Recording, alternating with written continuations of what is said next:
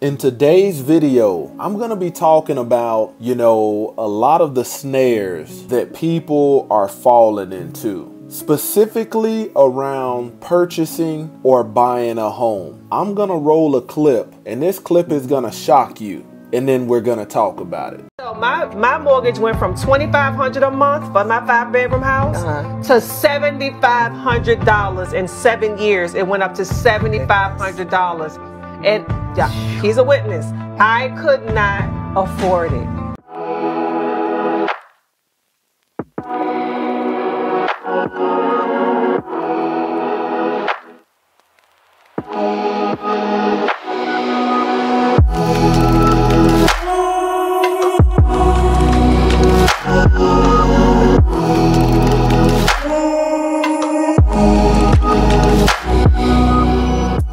Thank you for tuning in to another Righteous Spirit filled episode. Today I'm back at it in them trenches, handling that kingdom business. Now, if you have never heard of stories or testimonies like this, you might be trying to figure out how in the world did this lady's mortgage go from 2500 bucks a month to 7500 bucks a month.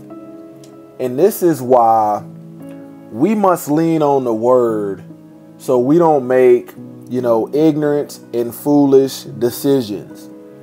You know, she is not the only woman out here making decisions like that. You know, when we look at statistics, you know, single women have a higher foreclosure rate than single men when it comes to home. And this ultimately has to do with wisdom. You know, when she was purchasing this home, she probably felt like this was a once in a lifetime opportunity. She could afford it. But I tell you, your feelings are carnal. They're not going to produce anything good. Carnal wisdom, which is earthly, sensual, and devilish, will fail you every time but the wisdom from above is pure. The Most High Yah tells us in His Word to build houses. And the onus is on you to be willing to get out there and labor in that. He never tells us to go out and get a mortgage for 30 years and buy more than what we can afford, which, and oftentimes, this is what uh, majority of people have done. And these people behind this system will tell you, congratulations, you're a homeowner. Let's cut the ribbon. When the truth of the matter is, you don't own anything. Man, Proverbs chapter 4, verse 7 says, Wisdom is the principal thing. Therefore, get wisdom, and with all thy getting, get an understanding.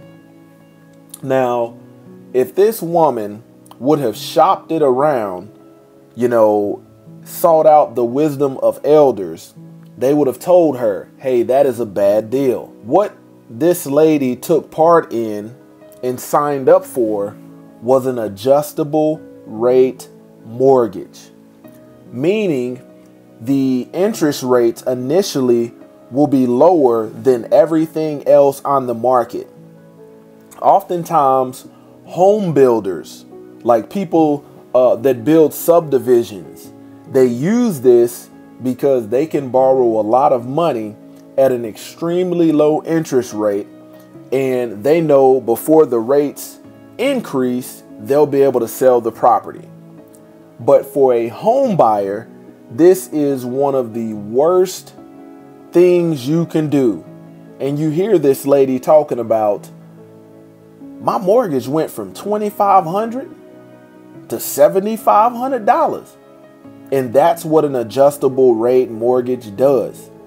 And people fall into this snare all the time because the introductory rate is lower than the current market standard of what uh, interest rates are around. But give it a year, two years, you know, like I said, it was an introductory rate. The rates are going to skyrocket. And we see in this woman's testimony. This is why the word says, prove all things, hold fast to which is good. Now, this woman, you know, who we don't see has a covering, you know, couldn't have sought out counsel, probably went in there thinking, I can afford this, this is a good deal. And oftentimes, when when you are stubborn, you know, a hard head makes a soft ass. You have people out there, especially that look like me, when somebody tells you, hey, when somebody tells you, you probably shouldn't do that, we look at it from a perspective of, oh, they just don't want me to have nothing. They're jealous. But did you ever think that they had the wisdom and understanding to see that you were walking into a snare? People are going to let you make your own choices and decisions. These people that are selling you this stuff, they're never going to lead you to the word. They might have their religion, they might have their uh, you know, type of worship, whatever denomination, but they're never going to lead you to the word, you know, like Proverbs 22 7. The rich rule over the poor, and the borrower is servant to a lender. Think about that. You signed up for something that was too good to be true, and it lasted for a short time. Now, this woman mortgage is 7500 bucks. She's not the only one going through this. Women and men in their independence making choices like this, not doing the research, not proving. Wisdom is the principal things. And all you're getting in this lifetime, get an understanding. Close to the YAH Ministries, kicking it gun barrel straight.